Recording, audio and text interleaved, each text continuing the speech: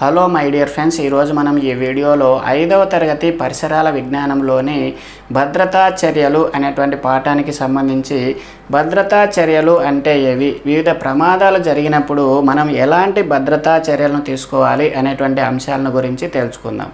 మొట్టమొదట మనము భద్రతా చర్యలు అంటే ఏమిటో తెలుసుకుందాం. మనకు అనేక ప్రమాదాలు జరుగుతూ ఉంటాయి. అగ్ని ప్రమాదాలు రోడ్డు ప్రమాదాలు నీటి ప్రమాదాలు అదేవిధంగా వరదలు వచ్చినప్పుడు భూకంపాలు వచ్చినప్పుడు అనేక ప్రమాదాలు జరుగుతూ ఉంటాయి. ఈ విధంగా వచ్చేటువంటి ప్రమాదాల నుంచి మనం తీసుకునేటువంటి చర్యలను ఏమంటున్నామంటే భద్రతా చర్యలు అని అంటున్నాం. ప్రమాదాలు జరిగినప్పుడు మనం తీసుకునేటువంటి చర్యలను భద్రతా చర్యలు అని అంటున్నాము. మనకు జీవితకాలంలో అనేక ప్రమాదాలు జరుగుతూ ఉంటాయి. మనము ప్రతిరోజు పేపర్లో చూస్తూ ఉంటాం. రోడ్డు ప్రమాదాల గురించి అగ్ని ప్రమాదాలను గురించి భూకంపాలను గురించి అదేవిధంగా వరదలను గురించి కూడా అనేక వార్తలు చదువుతూ ఉంటాం. ఇక్కడ చూడండి ఏ ఏ ప్రమాదాలు జరుగుతాయి అంటే సాధారణ ప్రమాదాలు అదేవిధంగా అగ్ని ప్రమాదాలు అదేవిధంగా గుంపులుగా ఉన్నప్పుడు గుంపులుగా ఉన్నప్పుడు ప్రమాదాలు జరుగుతాయి. అదేవిధంగా నీటి ప్రమాదాలు రోడ్డు ప్రమాదాలు భూకంపాలు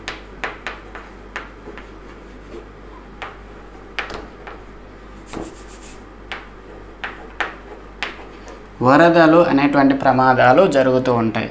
ఇక్కడ మొట్టమొదట సాధారణ ప్రమాదాలు. పిల్లలు ఆడుకుంటూ ఉంటారు. ఆడుకుంటూ ఉన్నప్పుడు కింద పడతారు. వాళ్ళు రకరకాలైనటువంటి వస్తువులు తీసుకున్నప్పుడు వాటిని ఉపయోగించేటప్పుడు కొన్ని ప్రమాదాలు జరుగుతూ ఉంటాయి. ఉదాహరణకు కత్తులు బ్లేడ్లు కత్తెరలు తీసుకున్నప్పుడు ఆడుకుంటూ ఉన్నప్పుడు వాళ్ళు చేతులు కోసుకోవడం జరుగుతుంది. ఇలాంటి సాధారణ ప్రమాదాలు జరుగుతూ ఉంటాయి. మనుషులు వెళ్ళేటప్పుడు కింద పడడము ఈ కింద పడి గాయాలు కావడం ఇలాంటి వాటిని ఏమంటున్నామంటే సాధారణ ప్రమాదాలు అని అంటున్నాం. కొన్ని జాగ్రత్తలు తీసుకుంటే ఈ సాధారణ ప్రమాదాల నుంచి మనం కాపాడుకోవచ్చు. పెద్దలు ఎప్పుడు పిల్లలను పర్యవేక్షిస్తూ ఉండాలి. వాళ్ళు ఎలాగ ఆడుకుంటున్నారు ఎలాంటి వస్తువులను తీసుకున్నారు ఆ వస్తువులతో వాళ్ళు ఏం చేస్తున్నారు అనేటువంటి అంశాలను ప్రమాదకరమైనటువంటి వస్తువులను తీసుకున్నప్పుడు మనం నివారించాలి. ఈ విధంగా మనము సాధారణ ప్రమాదాలను గురించి చర్యలు తీసుకోవచ్చు. నెక్స్ట్ చూడండి అగ్ని ప్రమాదాలు. ఈ అగ్ని ప్రమాదాలు అనేవి ఎక్కువగా ఆఫీసులలో ఇండస్ట్రీస్లో ఫ్యాక్టరీస్లో షార్ట్ సర్క్యూట్ వల్ల కానీ గ్యాస్ సిలిండర్లు పేలడం వల్ల కానీ ఇంటిలో కూడా గ్యాస్ సిలిండర్లు పేలడం వల్ల ఈ అగ్ని ప్రమాదాలు అనేవి సంభవిస్తూ ఉన్నాయి. ఈ అగ్ని ప్రమాదాలు సంభవించినప్పుడు అగ్నిమాపక దళం ఉంటుంది కదా? అగ్నిమాపక దళం. ఈ అగ్నిమాపక దళం వచ్చేసి వాళ్ళు కార్బోనేటెడ్ వాటర్ అంటే అక్కడ ఫైర్ ఇంజన్ వస్తుంది. ఈ ఇంజన్లో వాటర్ నింపుకొని వస్తారు. అక్కడ కార్బన్ డైఆక్సైడ్ అంటే హైపో కార్బనేట్ కార్బనేట్ ద్రావణం. అంటే కార్బన్ అనేది మంటలను ఆర్పుతుంది కాబట్టి కార్బన్ డైఆక్సైడ్ కార్బోనేటెడ్ వాటర్తో వాళ్ళు మంటలను ఆర్పేసి మనల్ని రక్షిస్తారు. నెక్స్ట్ చూడండి గుంపులు గుంపులుగా ఉన్నప్పుడు.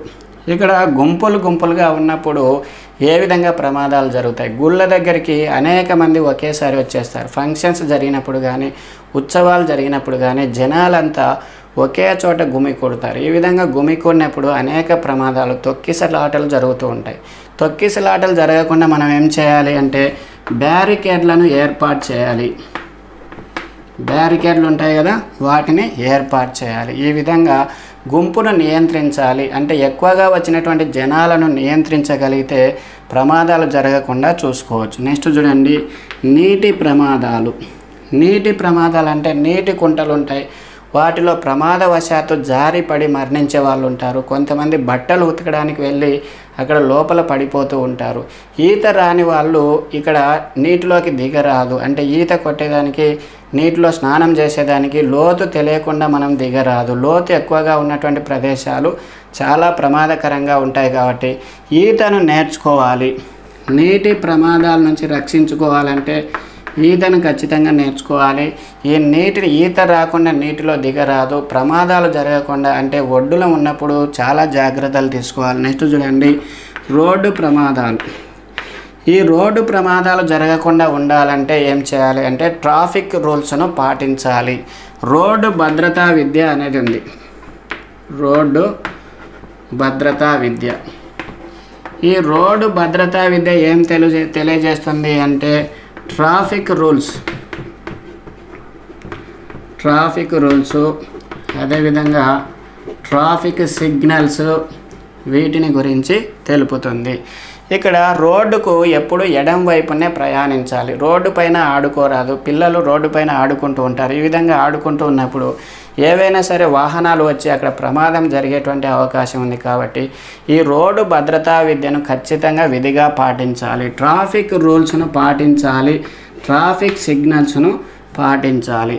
ఇక్కడ రెడ్ అనేది పడినప్పుడు ట్రాఫిక్ సిగ్నల్స్లో రెడ్ అదేవిధంగా ఆరెంజ్ గ్రీన్ అనేటువంటి కలర్స్ ఉన్నాయి. అంటే ఇక్కడ ట్రాఫిక్ జంక్షన్ ఉంటుంది కదా ట్రాఫిక్ జంక్షన్లో కానీ ప్రధానమైనటువంటి రహదారిలో కానీ ఈ విధంగా సిగ్నల్స్ని ఏర్పాటు చేస్తూ ఉంటారు. రెడ్ సిగ్నల్స్ పడినప్పుడు ఏంటి? స్టాప్ అంటే ఆగుము అని అర్థం. ఆరెంజ్ పడితే వెల్లుటకు సిద్ధంగా ఉండుము అని అర్థం. వెల్లుటకు సిద్ధం. గ్రీన్ పడినప్పుడు వెళ్ళండి. ఎస్ రెడీగా వెళ్ళొచ్చు అని. రెడ్ అంటే స్టాప్ అని. ఆరెంజ్ అంటే వెళ్ళుటకు సిద్ధంగా ఉండాలి. గ్రీన్ అంటే వెళ్ళండి. అంటే వెళ్ళేదానికోసం గ్రీన్ సిగ్నల్ ఈ విధంగా కొన్ని ట్రాఫిక్ సిగ్నల్స్ను పాటించాలి. రోడ్డుకు మనం ఎప్పుడు ఎడం వైపునే ప్రయాణం చేయాలి. మామూలుగా ఈ విధంగా రోడ్డు ఉందనుకోండి మనము ఉత్తరానికి వెళ్తున్నాం అనుకోండి ఈ వైపున లెఫ్ట్ ఈ వైపు రైట్ ఈ వైపున మాత్రమే ప్రయాణం చేయాలి. అదేవిధంగా దక్షిణానికి కింది వైపు వెళ్తున్నాం అనుకోండి ఈ వైపు లెఫ్ట్ అవుతుంది ఈ వైపు రైట్ అవుతుంది. ఎప్పుడు ఎడమ వైపునే ప్రయాణం చేయాలి. రోడ్డుకు ఎడమ వైపునే ప్రయాణం చేయాలి. వెహికల్స్ కానీ మనుషులు కానీ ప్రయాణం చేసేవాళ్ళు కానీ నడిచే వాళ్ళు కానీ ఇక్కడ నడిచే వాళ్ళు రోడ్డుకి ఇరువైపులా ఫుట్పాత్లు ఉంటాయి. ఈ భాగంలో ఎత్తుగా వీటిని ఫుట్పాత్లు అంటాం. ఈ ఫుట్పాత్ల మీద మాత్రమే నడవాలి. ఫుట్పాత్ల మీద నడిస్తే ప్రమాదాలను మనము నివారించడానికి అవకాశం ఉంటుంది. అప్పుడప్పుడు వర్షాలు పడినప్పుడు ఈ రోడ్డు యొక్క భాగంలో మ్యాన్ హోల్స్ ఉంటాయి. ఈ మ్యాన్ హోల్స్ను గుర్తించి మనం నడవాలి. ఈ మ్యాన్ హోల్స్ గుర్తు ఏంటి? ఈ విధంగా ఉంటుంది. మ్యాన్ హోల్ అని రాసి ఉంటారు. అదేవిధంగా ఈ విధంగా గుర్తులు ఏం చేస్తారు? ఈ విధంగా మ్యాన్ హోల్ గుర్తు వేసి ఇక్కడ ఒక మనిషి దాటుతూ ఉన్నట్టు మనకు గుర్తు వేస్తారు. ఇది మ్యాన్ హోల్ గుర్తు. మ్యాన్ హోల్ గుర్తును ఉపయోగించి మనం ఈ ట్రాఫిక్ సిగ్నల్స్ మీద బాగా అవగాహన కలిగి ఉండాలి. ఇక్కడ ఫర్ ఎగ్జాంపుల్ తిరగబడినటువంటి త్రిభుజాకారం ఉంది. ఇది దేనికి గుర్తు? అంటే దారి ఇవ్వండి. దారి ఇవ్వండి అనే దానికి గుర్తు. అదేవిధంగా ఇక్కడ చూడండి. ఇది ఏ దానికి గుర్తు? స్టాప్ అంటే ఆగుము అనే దానికి గుర్తు. అదేవిధంగా ఇక్కడ చూడండి ఖాళీగా సర్కిల్ ఉంది. ఖాళీగా సర్కిల్ ఉంటే నో ఎంట్రీ. అంటే ఇక్కడ ప్రవేశం లేదు వాహనాలు వెళ్ళేదానికోసం ప్రవేశం లేదు. అదేవిధంగా నో ఎంట్రీని ఈ విధంగా కూడా తెలియజేస్తారు. ఇది కూడా నో ఎంట్రీ వెళ్ళేదానికి లేదు. అదేవిధంగా ఈ సర్కిల్లో ఈ విధంగా ఉంది అనుకోండి. Right turn right turn right turn తీసుకోవాలి. అదేవిధంగా ఈ విధంగా ఉంది అనుకోండి. లెఫ్ట్ టర్న్ లెఫ్ట్ టర్న్ తీసుకోవాలి. ఈ విధంగా అనేక ట్రాఫిక్ సిగ్నల్స్ ఉన్నాయి. ఈ ట్రాఫిక్ సిగ్నల్స్ను పాటించి మనము రోడ్డు ప్రమాదాలు జరగకుండా చూసుకోవాలి. అదేవిధంగా వాహనాల్లో ప్రయాణం చేసేటప్పుడు ఖచ్చితంగా హెల్మెట్ ధరించాలి. హెల్మెట్ హెల్మెట్ అనేది హెల్మెట్ ధరించాలి. ఈ హెల్మెట్ ఉంటే మనం ప్రమాదం నుంచి కాపాడుకునే దానికి అవకాశం ఉంది. అదేవిధంగా సీట్ బెల్ట్ సీట్ బెల్ట్ను ధరించాలి. కారులో ప్రయాణం చేసేటప్పుడు సీట్ బెల్ట్ను ధరించాలి. ఈ విధంగా రోడ్డు ప్రమాదాలు జరగకుండా అనేక చర్యలు తీసుకోవచ్చు. నెక్స్ట్ చూడండి భూకంపాలు. ఈ భూకంపాలు ఏ విధంగా వస్తాయంటే భూమి కంపిస్తూ ఉంటుంది. భూమి ఎందుకు కంపిస్తుంది అంటే భూమి లోపలి పొరల్లో ఖాళీ ఖాళీలు ఏర్పడడం వల్ల. అదేవిధంగా భూమి లోపల పొరల్లో ఏం జరుగుతుంది? ఖాళీలు ఏర్పడతాయి. ఈ విధంగా ఖాళీలు ఏర్పడడం వల్ల భూమి అనేది సర్దుకుంటూ ఉంటుంది. భూమి ప్లేట్స్ అనేవి కదులుతూ ఉంటాయి. ఒకే ప్లేట్గా లేదు చిన్న చిన్న పలకాలుగా ఉన్నాయి కాబట్టి ఈ పలకాలు కదిలినప్పుడు భూకంపాలు వస్తూ ఉంటాయి. ఈ భూకంపాలను అధ్యయనం చేసేదాన్ని ఏమంటున్నాము? భూకంప లేఖిని. భూకంప లేఖిని. దీన్నే సిస్మోగ్రాఫ్ అని అంటాం.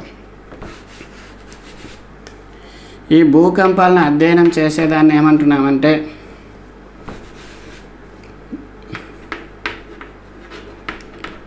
సిస్మోగ్రాఫ్ అని అంటున్నాం. భూకంపాలను అధ్యయనం చేసేదాన్ని భూకంప లేఖిని లేదా సిస్మోగ్రాఫ్ అని అంటున్నాము. ఈ భూకంప తీవ్రతను మనం కనిపెట్టేదానికోసము రిక్టర్ స్కేల్ను ఉపయోగిస్తాం. రిక్టర్ స్కేలు ఈ రిక్టర్ స్కేలు అనేది ఏం తెలుపుతుంది అంటే భూకంపాల యొక్క తీవ్రతను గురించి తెలుపుతుంది. ఇది ఒకటి నుంచి పది వరకు అంకెలు ఉన్నటువంటి స్కేల్ ఉంటుంది. ఈ స్కేల్లో ఆరు ఏడు ఉంటుంది కదా. ఆరు ఏడును దాటితే భూకంపం అనేది ప్రమాదకరంగా వస్తుంది. ప్రమాదకరంగా వస్తుంది. ఈ రిక్టర్ స్కేల్ను ఎవరు కనిపెట్టారు అంటే చార్లెస్ రిక్టర్ అనేటువంటి శాస్త్రవేత్త. చార్లెస్ రిక్టర్ అనేటువంటి శాస్త్రవేత్త పంతొమ్మిది వందల ముప్పై ఐదు సంవత్సరంలో చార్లెస్ రిక్టర్ అనేటువంటి ఆయన రిక్టర్ స్కేల్ను కనిపెట్టడం జరిగింది. ఈ రిక్టర్ స్కేల్ మీద ఆరు ఏడు పాయింట్లు దాటితే ఈ భూకంపం అనేది అతి తీవ్రంగా ఉంటుంది. ఇక్కడ పంతొమ్మిది వందల తొంభై మూడులో పంతొమ్మిది వందల తొంభై మూడులో మహారాష్ట్రలో లాథూర్. మహారాష్ట్రలో లాతూర్లో ఒక ప్రమాదకరమైనటువంటి భూకంపం అనేది సంభవించింది. అదేవిధంగా రెండు వేల ఒకటిలో గుజరాత్లోని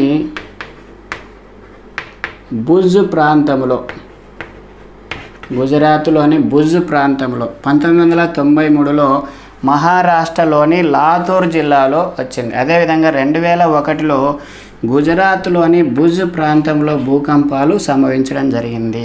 ఈ విధంగా భూకంపాలు సంభవించినప్పుడు మనము ఎలాంటి జాగ్రత్తలు తీసుకోవాలి అంటే కనుక మనం ఇంట్లో ఉంటాం భూకంపాలు వచ్చినప్పుడు ఏం చేయాలి అంటే పరిగెత్తుకుంటూ బయటికి వచ్చేయాలి. ఇంట్లో ఉండకూడదు. ఎందుకంటే ఇక్కడ ఇల్లు బిల్డింగులు కూలిపోయేటువంటి ప్రమాదం ఉంది కాబట్టి ఇంట్లో నుంచి పరిగెత్తుకుంటూ వచ్చేయాలి. ఒకవేళ వీలు కాకపోతే ఇంట్లో బల్లలు ఉంటాయి ఇనుప బల్లలు ఉంటాయి ఈ ఇనుప బల్లల కింద దూరి మనము తలను చేతులు పెట్టి కాపాడుకోవాలి. ఒకవేళ ఇండ్లు కూలిన కానీ ఈ ఇనుప బల్లల మీద పడకుండా ఇనుప బల్లల మీద పడకుండా ఉంటుంది కాబట్టి మనం జాగ్రత్తగా ఉండేదానికి వీలవుతుంది. ఈ విధంగా భూకంపాలు వచ్చినప్పుడు ప్రభుత్వం అనేక చర్యలు తీసుకుంటూ ఉంది. ఇక్కడ టీవీల్లో కానీ రేడియోలో కానీ అనేక హెచ్చరికలు చేస్తూ ఉంటుంది. ఈ హెచ్చరికలను మనం గమనించాలి. భూకంపాలు వచ్చినప్పుడు జాగ్రత్తగా ఉండాలి. మనం వాహనాల్లో వెళ్ళినప్పుడు ఈ భూకంపాలు వచ్చినప్పుడు ఏం చేయాలి అంటే ఈ వాహనాలను బిల్డింగ్స్కు దగ్గరగా నడపరాదు. అదేవిధంగా బ్రిడ్జెస్ ఉంటాయి. ఈ బ్రిడ్జెస్కు దగ్గరగా నడపరాదు. మనము ఖాళీగా ఉన్నటువంటి ప్రదేశానికి వెళ్ళి నిలబడాలి. బిల్డింగ్స్ ఏం లేకుండా బ్రిడ్జీలు ఏం లేనటువంటి ప్రదేశాలకు వెళ్ళి నిలబడితే ఈ భూకంపాల నుండి మనము రక్షించుకోవచ్చు. అదేవిధంగా విద్యుత్ సరఫరాను నిలిపివేయాలి. భూకంపాలు వచ్చినప్పుడు విద్యుత్ సరఫరాను నిలిపివేస్తే ఈ భూకంపం వల్ల వచ్చినటువంటి నష్టాలను కొంత మేరకు తగ్గించవచ్చు. ఈ విధంగా భూకంపాల నుండి మనం రక్షణ చేసుకోవచ్చు. నెక్స్ట్ చూడండి వరదలు. వరదలు అంటే ఏంటి? ఎక్కువ వర్షాలు పడినప్పుడు పల్లపు ప్రాంతాలు మునిగిపోతాయి. నీటితో నిండినటువంటి ప్రాంతాలు అంటే ఎక్కువ వర్షాలు పడినప్పుడు పల్లపు ప్రాంతాలన్నీ నీటితో నిండడం అదేవిధంగా ఇల్లు నీటిలో మునిగిపోవడము ఎత్తైన ప్రదేశాలు కూడా నీటిలో మునిగిపోవడం ఇలాంటి పరిస్థితులను ఏమంటున్నామంటే వరదలు అని అంటున్నాము. ఈ వరదలు ఎక్కువగా పంతొమ్మిది వందల డెబ్బై ఏడులో పంతొమ్మిది వందల డెబ్భై ఏడులో దివిసీమ ఉప్పెన అనేది వచ్చింది. అదేవిధంగా రెండు వేల తొమ్మిదిలో కర్నూలులో వరదలు అనేటివి భారీ వరదలు సంభవించాయి. వరదలు పంతొమ్మిది వందల డెబ్భై ఏడులో దివిసీమ ఉప్పెన అనేది వచ్చింది. రెండు వేల తొమ్మిదిలో కర్నూలు జిల్లాలో ఎక్కువగా వరదలు రావడం జరిగింది. ఈ వరదలు అనేటివి వచ్చినప్పుడు మనం జాగ్రత్తగా ఉండాలి. వరదలు వచ్చినప్పుడు ఎక్కువగా కలరా వ్యాపించడానికి అవకాశం ఉంది. కాబట్టి సురక్షితమైనటువంటి నీటిని తాగాలి. క్లోరినేటెడ్ నీటిని మాత్రమే తాగాలి. నీటిని మనం సమకూర్చుకొని ఉండాలి ముందే. అంటే ప్రకటనలు చూస్తూ ఉంటాం కదా తుఫాన్లు వస్తున్నాయి. తుఫాన్లు వచ్చినప్పుడు వరదలు వస్తాయి కాబట్టి మనం వీటిని అన్నిటినీ అంటే మనకు కావాల్సినటువంటి వస్తువులన్నింటినీ సమకూర్చుకోవాలి. వరదలు వచ్చినప్పుడు ఏం చేయాలి అంటే ఎత్తైనటువంటి ప్రదేశాలకు వెళ్ళాలి. అంటే ఆ ప్రదేశాలు మునగవు కాబట్టి. ఈ మునిగినప్పుడు ఏం చేయాలి? ఇంట్లో మునిగినప్పుడు ఇంట్లో ఉన్నటువంటి వస్తువులను ఎత్తైనటువంటి ప్రదేశాల్లో ఉంచాలి. అదేవిధంగా మనం కూడా మిద్దెలు ఎక్కాలి ఎత్తైనటువంటి ప్రదేశాలకు వెళ్ళి కాపాడుకోవాలి. అదేవిధంగా ప్రభుత్వము కొన్ని పునరావాస శిబిరాలను ఏర్పాటు చేస్తూ ఉంటుంది. ఆ పునరావాస శిబిరాల్లోకి వెళ్ళి మనం తలదాచుకోవాలి ఈ వరదలు తగ్గే వరకు ప్రభుత్వం ఇచ్చేటువంటి అన్ని ఏర్పాట్లను మనము అక్కడ పొందవచ్చు. ఈ విధంగా మనము వివిధ భద్రతా చర్యలు ఉన్నాయి. ఈ భద్రతా చర్యలను ఏ విధంగా తీసుకోవాలి అనేటువంటి అంశాలను గురించి తెలుసుకోవడం జరిగింది. మై డియర్ ఫ్రెండ్స్ ఈ వీడియో కనుక మీకు నచ్చినట్లయితే షేర్ చేయండి లైక్ చేయండి. మరిన్ని అప్డేట్స్ కోసం మా ఛానల్ సబ్స్క్రైబ్ చేసుకోవడం మర్చిపోవద్దండి. thank you very much. All the best.